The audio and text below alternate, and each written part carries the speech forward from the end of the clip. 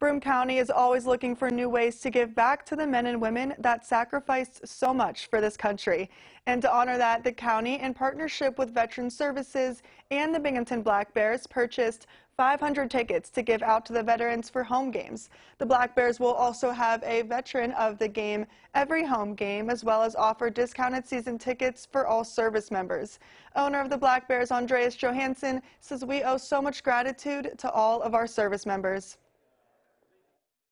If our guys downstairs in the locker room can take a leaf out of their playbook as far as their toughness, their dedication, and their willingness to sacrifice themselves, we will be the toughest team that this league has ever seen.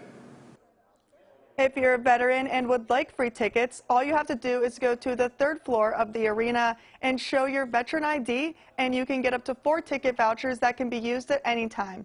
The home opener is November 6th, and tickets are still available, so to purchase those tickets, go to binghamtonblackbears.com. The recess